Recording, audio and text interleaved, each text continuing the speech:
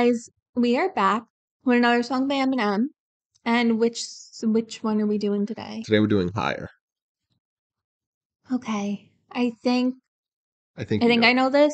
I think you do too. I think if it's what I'm thinking of, I like it. Yes. So this is track number nine off of Music to Be Murdered By, which you obviously know. If this is your first time seeing our video, we're going through Eminem's whole discography. We're up to his most recent album, Music to Be Murdered By Side B, and this is track number nine off of that. So I think you know it.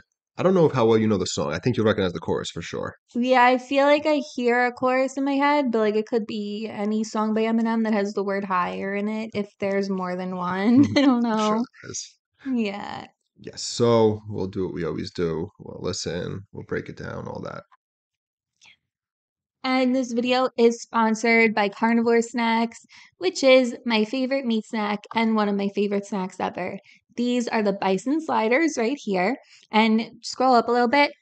Right here, yep, the textures. So these are the textures of all of them. You've got, I'm not sure, maybe like the one of the beef ones. And then you've got the sliders right here. And then over here, there's sliders as well. And that's just the textures of all of their different kinds of snacks. And they all are essentially like eating meat potato chips. They're not quite like beef jerky, not quite like biltong. It's like in a class of its own. And they're salty, meaty, delicious. Like once you start eating them, I guarantee you're going to finish the whole bag and want more. Because that's what happens to me every single time. And these are the bison sliders. You should definitely try these. They're brand new. They also have new Wagyu flavors, which I think you have to be a member for, but definitely join because you'll be able to taste all their new flavors first if you really like them. And they're all minimal ingredients. This is the grass fed bison and Redmond real salt, and they're all regeneratively raised, so it's good for. I think I I'll be honest, I don't know what that means. I think it's good for the and the grass and the Yeah. environment. I don't know, Yeah. but it's good. It's a good thing, not a bad thing. And you should definitely try it. You can use our coupon code with Smith for 15% off your first order, and the link is in the description below. We're sorry. We're also sponsored by SeatGeek, which is a great website to get tickets from, whether they're for concert tickets, sporting event tickets, comedian tickets, literally any type of ticket, they have it. And you will have a really great discount if you use our coupon code with Smith you will save $20 off your first purchase, which is really great discount for tickets, in my opinion. And those are just some of the mm. things going on. You could click the link in the description below to see what else is there. They have all the same things as all the other ticket companies, but you just get $20 off with our promo code, so why not? And follow us on social media channels if you want to. That's our handle right there. And that's it. So, so as I said, this is higher, track number nine off of Music to Be Murdered By Side B. Here we go. Yeah. You know, I've been around for a while now. Not sure if I have much left to prove. Yeah, I do. I look at me now, I'm thinking, damn, how proud of me I am. What I did is nothing to sneeze at. Even if your allergies are bad, I'm up in the balcony in France. I look around, I see the fans, how they surround me in the stands. Probably could drown in a sea of hands. They're hollering, yelling it out to me, and that's what I mean when I say that one day, some way, somehow, if I get the chance to get a crowd, I flip it around and have a crowd give me the chance. I've done it all, man, but in actuality, I haven't yet. Where am I supposed to go from here? Oh, babe. Really, I have no idea. All I know is every time I think I hit my ceiling, I go higher than I've ever fucking been. Where am I supposed to go from here? Oh, babe.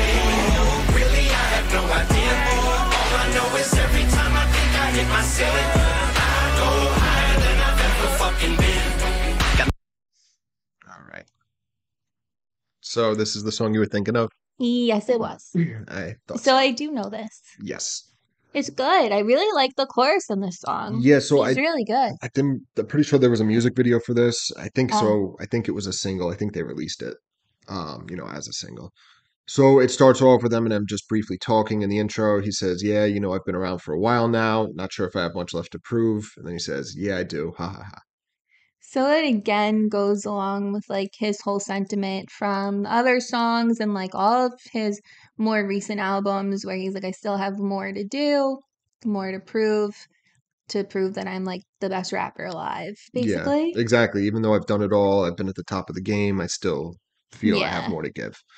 So then he starts the first verse. He comes in, he says, I look at me now, I'm thinking, damn, how proud of me I am. What I did, it's nothing to sneeze at, even if your allergies are bad. So it's cool. Similar sentiment to the core, uh, the little intro we just heard. You know, he's done it all, you know, and it's nothing to sneeze at.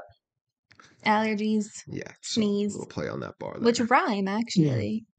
What? Sneeze and allergies. Oh yeah, it does. That's interesting. I didn't even think about that. So it's more than just like a bar, I guess, if that's what it is. Yeah.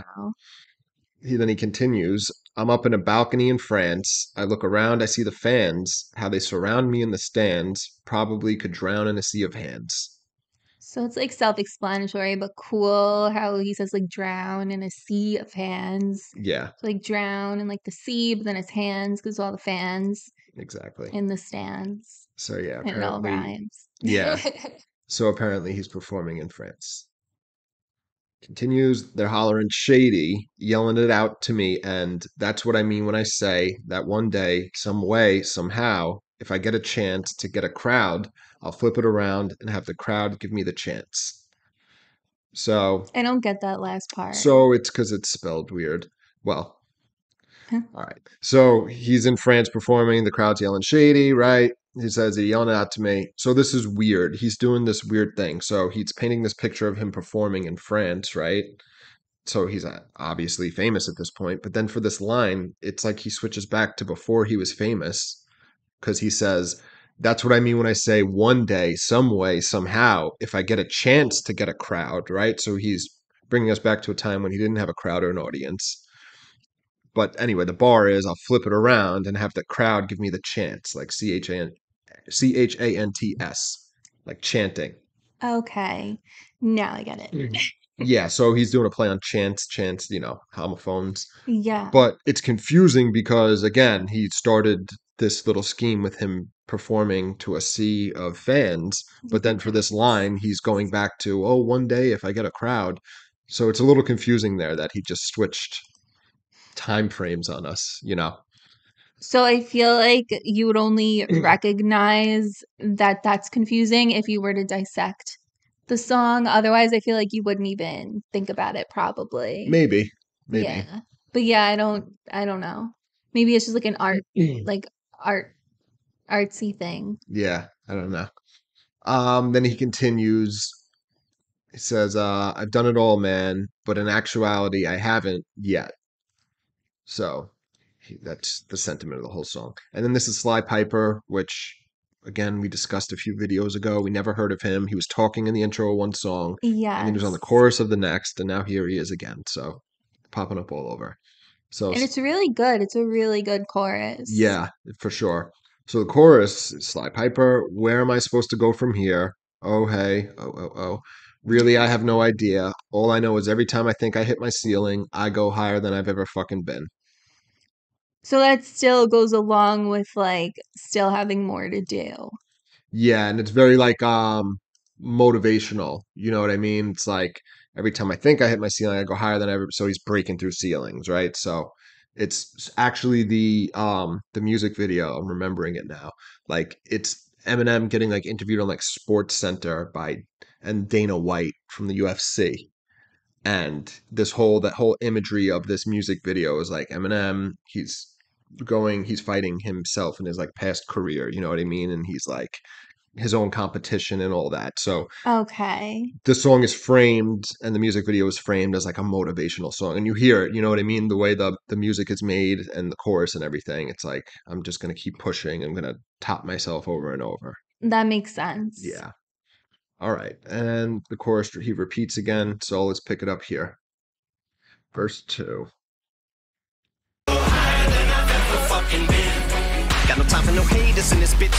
or toleration for the shit, but like medication, my dedication and the time it takes to do this shit reminds me of how an overcrowded hospital waiting room will get. What I mean is maybe I have more patience than I'm able to admit. Yeah, but I'm still mentally stable. There's a three-legged table in this bitch. Fame was a switch, but I was grateful to trade the shit for the trailer with a hitch that would make me a raving lunatic.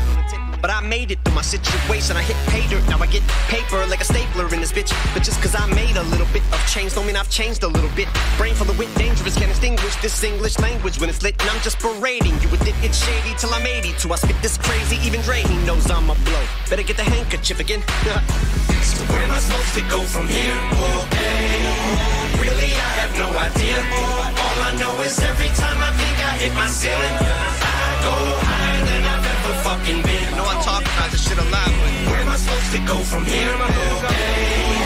Really, I have no idea. Just All I know is every time I think I hit my ceiling, I go higher than I've ever fucking been. Oh, now what am I gonna do? Ain't nothing, homie, I'm on the loose. Born a winner, never so hard to lose. I can do it even when I'm trying to. With my record flop, still go through the roof. This atmosphere is for a chosen few who was on their grind, making money moves. And you ain't gonna get there if you water it down. You gotta take shots like a hundred proof. Been in survive. Okay. it's the last pause. We'll let the rest of the song play out after this. Very good. Okay. So verse two, Eminem comes in. He says, "Got no time for haters in this bitch or toleration for this shit, but like medication, my dedication, and the time it takes to do this shit." So Okay. I mean, this is again, this isn't really a crazy bar that needs breaking down. You know, he's just letting us know he's got no time for haters. He's been around this. You know, he's gonna keep going. Or toleration for. So he says this shit. I'm guessing like But when he says, haters. but like medication, I don't get how that fits in there. So the bar, I think, gets so it continues. It says, "But like medication, my dedication and the time it takes me to do the shit reminds it's me." missing parts. So yeah. like i'm not getting where that fits in. Okay. Yeah, it's not because it's annoying. I usually stop for whatever the lyrics are on the screen, yeah, yeah. so I don't have to keep flipping back and forth. But yeah, so yeah, he's he's not tolerating the shit, right? But like medication, my dedication and the time it takes to do this shit reminds me of how an overcrowded hospital hospital waiting room will get. But I mean, it's maybe no, that's that's worded terrible. Hits the ear He says, "What I mean is maybe I have more patience than I'm able to admit." that make patients like a patient in a hospital. Patients like Mm. you're you can wait for something to happen. Yeah, so that's where the medication thing comes in, right? He's like, yeah, 'cause "Lo- hospital patients. Yes, and he's like, like medication, my dedication to the shit. And then you already pointed out, uh, an overcrowded hospital, you know, can't admit patients, which you described. I've actually never been in Hmm. an overcrowded hospital waiting room. No, me either. No. Yeah, that's interesting. It's for some reason anytime I've had to go, the ER waiting room's always empty. People were worried about um that happening in COVID in New York particularly, and it actually didn't end up happening, which is weird. Yeah, you had to go to the hospital for something unrelated to COVID during peak COVID, and no one was in the waiting room. But then they sort of turned us away. They're like, if you come in here, you will get COVID Yeah, that was funny. and you will die. Just kidding. They didn't say that part. No. um, okay, so yeah, maybe I have more patience than I'm able to admit. So he can deal with this shit. hmm Yeah, but I'm still mentally stable as a three-legged table in this bitch.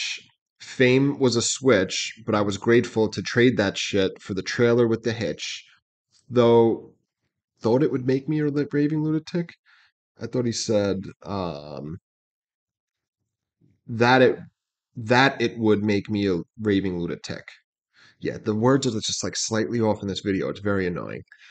So he's mentally stable as a three-legged table. So he's letting you know he's still crazy, right? Three-legged table is not stable. So it's so funny because I just imagined like sort of like a round stool type table that would be stable on three legs. So I was like, I don't get it. But now I get it. It's like a large square or rectangular table with just three legs. Yeah. Okay. And then he says, uh, fame was a switch, but I was grateful to trade that shit for the trailer with the hitch. So he obviously came from anonymity and poverty to going to um, fame and fortune, which he's happy. He's happy that he did, but it was an adjustment. And then, you know, he traded it for the trailer with the hitch. He says that it would make me a raving lunatic. So interesting. He's kind of acknowledging, you know, that it made him crazy. Yeah, and just put him through a lot. Yeah. But I made it through my situation. I hit pay dirt. Now I get paper like a stapler in this bitch. But just because I made it a little bit of change, don't mean I've changed a little bit. What's pay dirt? So it's like an expression, like if you hit pay dirt. So like I think like when you're like digging for like um like oil or like gold or something, you know what I mean? It's an it's an expression like oh you you you're gonna get paid now. You know what I mean? Okay. You found you stumbled upon something struck that's gold. exactly it's that's what it means. Um so yeah, he made it through. He was broke. He hit pay dirt. He found a way to make money rapping. Now he gets paper like a stapler in this bitch. So obviously, a little Mhm. bar there. And, then, a little bit of change goes along with the money, scheme exactly. but then also like change, like Yes, things are different. exactly. Then he continues, brain full of wit, dangerous, can't extinguish this English language when it's lit. Now I'm just parading. You would still get shady till I'm 80. So okay, this is all wrong. And then the Grady, it's so funny because it's Dre, he Dre, like Dr. Dre, but they're saying Grady.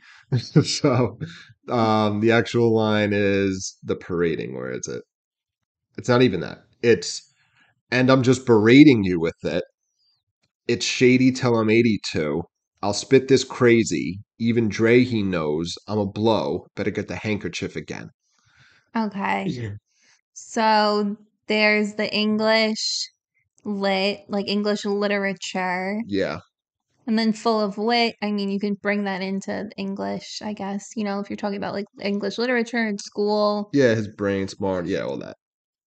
And yeah, Yeah, the other. So again, we're reading like the the the wrong lyrics there. I know it's Um, confusing. Yeah, so he's like, um, and I'm just berating you. It's shady till I'm 82. So that we get. He said, I'll spit this crazy. Even Dre, he knows I'm a blow.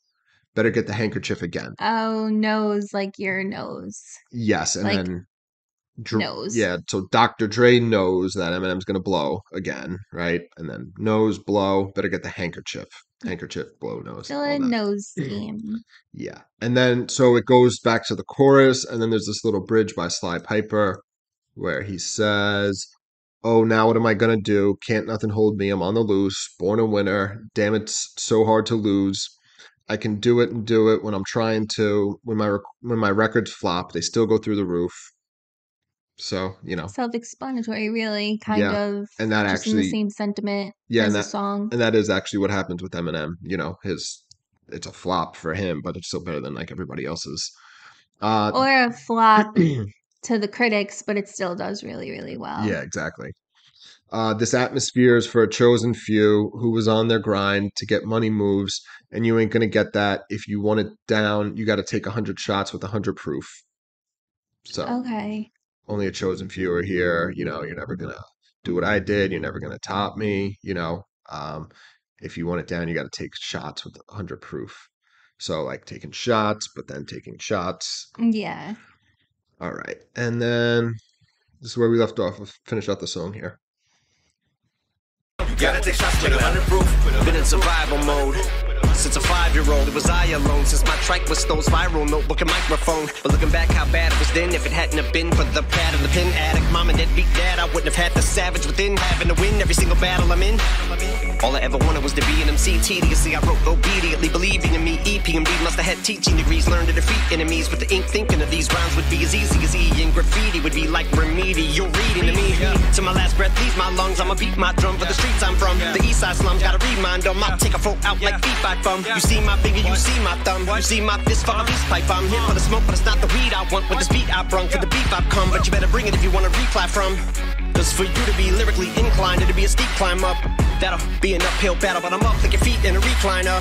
And I think I'm about to go out on a limb like a tree climber. Time to push my ceiling higher, cause where am I supposed to go from here? Oh, really, I have no idea. All I know is every time I think I hit my ceiling, I go higher than I've ever fucking been. Where am to go from here? Oh, hey, really, I have no idea. All I know is every time I think I hit my ceiling, I go higher than I've ever fucking been. Okay. I love the way that song ends. Like, I the, like uh, the chorus. the music, it's like very anthemic, and then how it fades out. yeah. Sick. Okay. So, third verse. I'm going to read from my phone because these lyrics on the screen keep fucking me up. All right. So, been in survival mode since a five year old. It was I alone since my trike was stole, spiral notebook, and microphone. It's just more in the same going into his childhood and like what we know about it. If you have followed all of our reactions of his prior music or you just know his music really well, sort of discussing his childhood. Yeah. He was on his own, and then yeah. the microphone and writing rap is, Saved you know, him. Exactly. Um, but looking back, how bad it was then, if it hadn't had, if it hadn't to, hadn't been, if it hadn't been for the pad and the pen, addict mom and deadbeat dad, I wouldn't have had the savage within, having to win every single battle I'm in. Jesus, even Yeah, just so reciting the all the rhymes was fucking me up. so he's acknowledging that like even though his childhood was like really treacherous, he wouldn't be where he is right now without that. Yeah. Yeah. Yeah, exactly. And he, so we've heard the sentiment in his other songs, but you know, like he thanks his dad for teaching him what not to do. But you know, it's like a common phrase, but everything you went through made you who you are. So, you know, you don't regret anything. That's the Yeah, sentiment. exactly. He, you know, he, he, uh, says the pen and pen, rap music was his vehicle, you know, to get through it. And then, yeah, addict mom, we know, deadbeat dad would have had the savage within having to win every single battle I'm in. So, he felt like he had to win. You know what I mean? Yeah, like something to prove. Yeah. All right. then he continues All I ever wanted was to be an MC. Tediously, I wrote obediently, believing in me. EPMD must have had teaching degrees, learned to defeat enemies with the ink, thinking of these rhymes would be as easy as E, and graffiti would be like remedial reading to me. Okay. This one's actually this one's actually pretty good. So it's not great at the bottom. yeah, I know. Um it would be as easy as Ex- eating graffi- graffiti. yeah, it's so funny. I I think so. I think I saw that this was two years old, so not long after, They must have did it from Right like when it came out, hearing. and like- right when it came out, so there was no other lyrics around. Yeah, so he always wanted to be uh, an MC, right? He always wrote, and he believed in himself.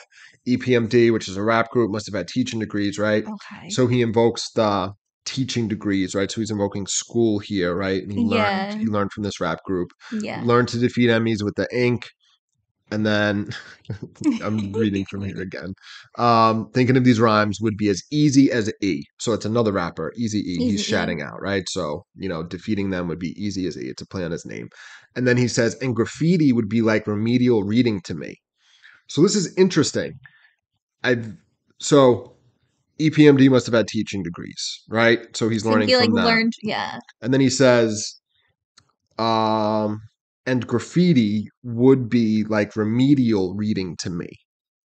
So I don't know if he so there's one of two things he's saying. He's either saying that because it's remedial reading, um, you know, it's so easy for him. So graffiti is something that he also, you know, was into when he was younger, right? hmm or like remedial reading it's like it's bullshit you know what i mean so i don't know which way he's referring to the graffiti meaning like he enjoyed it and that's also something that got him through as well as listening to hip hop or mm-hmm. is he saying it's remedial it's bullshit you know what i mean I don't know. I don't. I don't get it. i think this is the first we ever heard him talk about graffiti like this do you know what i mean yeah. If you guys know, let us know what he's talking about here.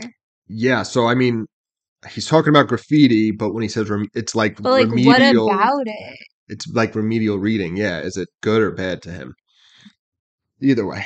He continues. He says, Till my last breath leaves my lungs, I'ma beat my drum for the streets I'm from, the east side slums. Gotta remind 'em.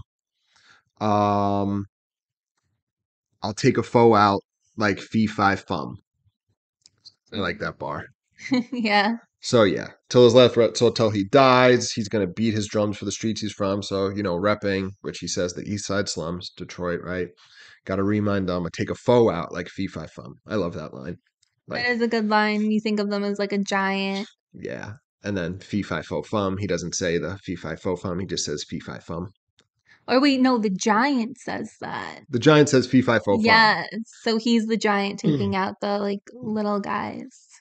Yes. And he literally leaves it out of the fee fi fo fum. He just says fee fi fum. So he took the foe out. You know what I mean? Okay. It's a double. It's a double meaning. Yeah, it is what you said. I missed that. it's it's so simple. It's like goes right past. You know what I mean? It's like one of those like so obvious things that it's like what? Um, you see my finger, you see my thumb, you see my fist. I was like, wait, what is? He says fuck a f- fuck a peace pipe. I'm so not bum. It says fuck a peace pipe. Um Pe- Peach pipe. here, yeah, peach.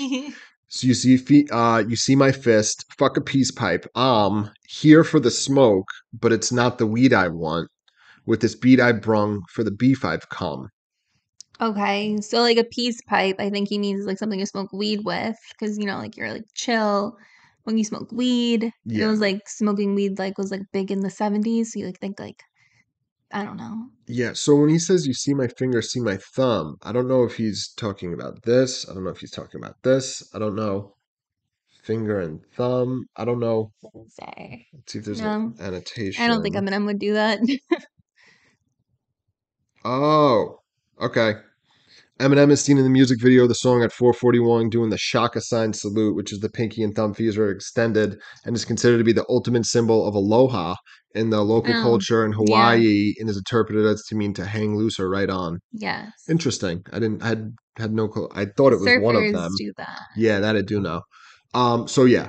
So he's given the sign, right? And then he says, You see my you see my fist, fuck a peace pipe. So I'm here to fight you. I'm not here to make peace. Yeah. I want all the smoke, but it's not the weed smoke that I want. But this It's beef smoke. Yeah, exactly. Smokes beef. Exactly. I'm hungry. Then he says, um, but you better bring it if you want a reply from, because for you to be lyrically inclined, it'll be a steep climb up.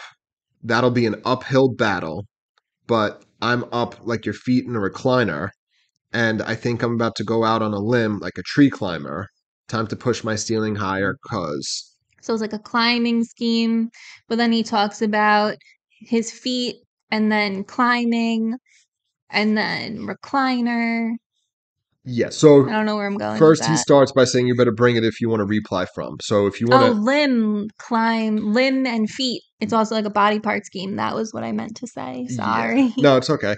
So he starts off by saying, "You better bring it." If so, he's not going to reply to you unless you give, uh, like, if you really come at him, right? You got to have something good in order for Eminem to acknowledge you and reply like your diss or something. And then, like you were just pointing out, it says for you to be lyrically inclined, it'll be a steep climb up.